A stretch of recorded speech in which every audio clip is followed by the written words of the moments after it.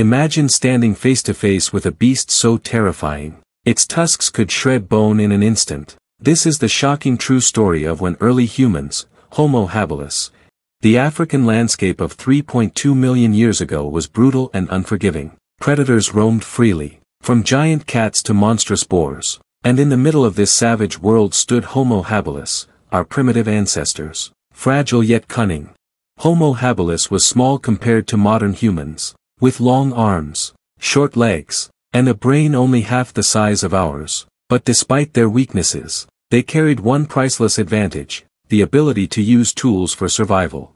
These early humans relied on crude stone flakes, sharpened by striking rocks together. While not advanced, these tools gave them the edge to crack bones, cut meat, and sometimes defend themselves against larger, more powerful enemies. But against the saber-tusked boar, scientifically known as Metridiochoerus andrewsi, tools were not always enough. This giant creature, with tusks curving outward like swords, could weigh over 600 pounds and charge with unstoppable force. The boar's tusks were its ultimate weapon. Unlike modern pigs, these tusks were sharp, long, and curved forward, designed to gore predators and rivals alike. A single swing could tear open flesh, bone, or anything unlucky enough to block its path.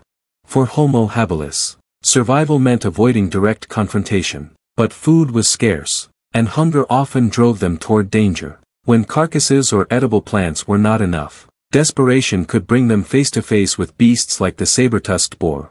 Picture this, a small band of Homo habilis approaches a riverbank. The ground is littered with tracks. Something massive had passed through recently. And then, from the tall grass, comes the sound of grunting and heavy breathing.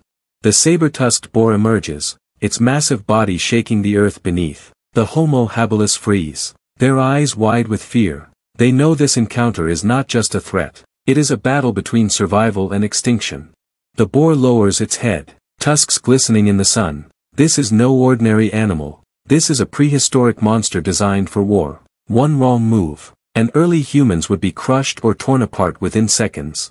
Homo habilis was intelligent enough to know they couldn't win in brute strength. Their only chance lay in strategy, using their tools, teamwork, and quick thinking to outmaneuver the beast. But would it be enough against such raw power? The group quickly gathers stones, gripping them tightly. The sharp edges reflect in the light. Crude but deadly in desperate hands, they huddle together, their hearts pounding, preparing for the most terrifying test of their lives.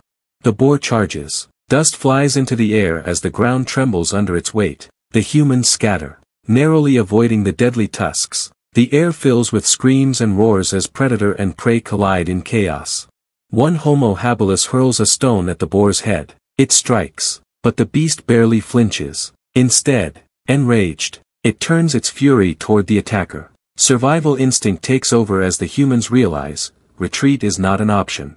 They circle around the boar, throwing rocks and swinging stone tools whenever it lunges. The strategy is not to kill, but to exhaust, confuse, and survive long enough to drive the beast away. But the boar will not yield easily.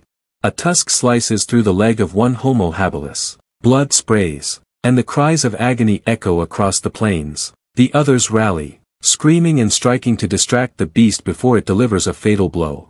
This brutal encounter highlights the harsh truth of prehistoric life. Every day was a gamble, every moment a fight. For Homo habilis, death was never far away, whether from predators, hunger, or the unforgiving forces of nature. The saber-tusked boar, though terrifying, was not invincible, even predators feared its tusks, but against the persistence and intelligence of Homo habilis, its rage began to falter. The hunters had become the hunted.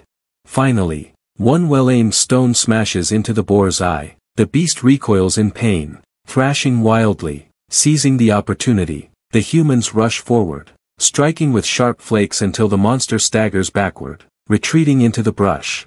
The humans, bruised and bloodied, collapse in exhaustion. One lies wounded, his leg torn but still alive. They had survived what could have been their extinction at the hands of one of nature's deadliest beasts.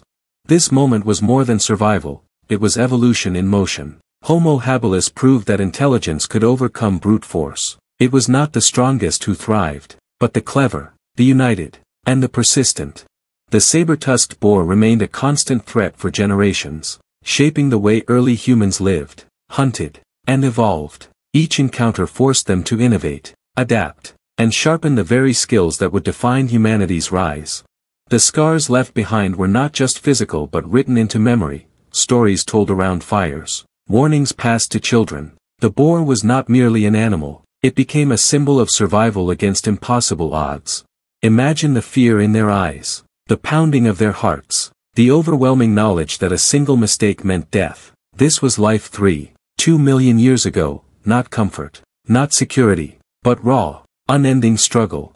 And yet, it was within this struggle that humanity's greatest strength was born, not our size, not our claws, not our speed, but our minds. Minds sharp enough to outweed even the deadliest beasts of the ancient world. The saber-tusked boar would eventually vanish from history, its bones left buried beneath layers of earth, but its legacy lived on in the evolution of our species, forever shaping the path of human survival. For Homo habilis, every victory, no matter how small, was a step toward dominance. Every encounter was a lesson written in blood, fire, and stone, and the encounter with the saber-tusked boar was one such defining chapter. 3.2 million years ago, survival was not guaranteed, it was earned, through courage, sacrifice, and unity, against predators like the saber-tusked boar. Our ancestors forged the instincts that would carry humanity into the future. Today, when we look back at fossils and artifacts, we see more than bones and stones, we see stories of survival, Moments of terror and triumph, carved into the very foundation of human history. Without battles like these, without the constant clash of survival against extinction, humanity might never have risen to become what it is today. The saber-tusked boar, though extinct, played its part in shaping who we are. When Homo habilis picked up a stone and faced the beast, they were doing more than surviving, they were inventing courage, strategy, and cooperation. They were planting the seeds of human destiny, Generations later, these lessons carried forward, from Homo habilis to Homo erectus, from stone flakes to fire, from caves to civilizations, it all began with survival in the shadow of monsters like the saber-tusked boar. The encounter was not just an accident of nature, it was evolution's test, and our ancestors passed, not with strength or weapons, but with unity, persistence, and the spark of intelligence burning brighter than fear. Every scar they carried, Every wound endured, every victory won, added another line to the story of mankind. The saber-tusked boar was a chapter, but humanity was the book still being written. Picture the silence after the battle. The humans gather, tending wounds, trembling, but alive. Around them lies the trampled grass, the marks of tusks, and the blood that reminds them of how fragile life truly was.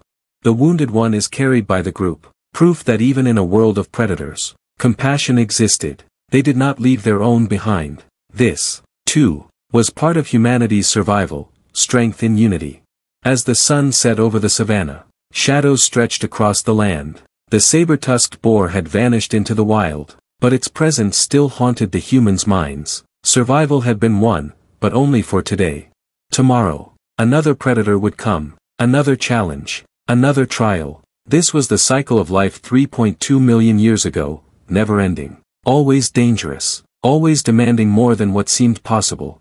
But every tomorrow they survived brought humanity closer to its destiny. From fragile creatures hiding in the grass, they would rise to rulers of the world, and it all began with moments like this.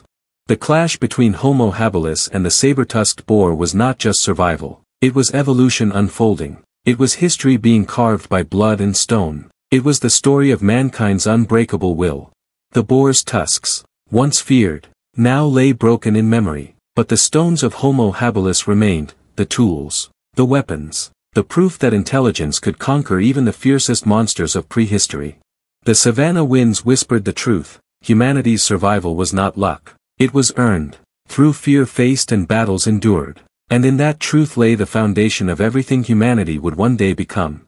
Every scream, every strike, Every heartbeat of that encounter carried forward into the DNA of our species. The courage of Homo habilis was not lost. It lives within us, even now, millions of years later.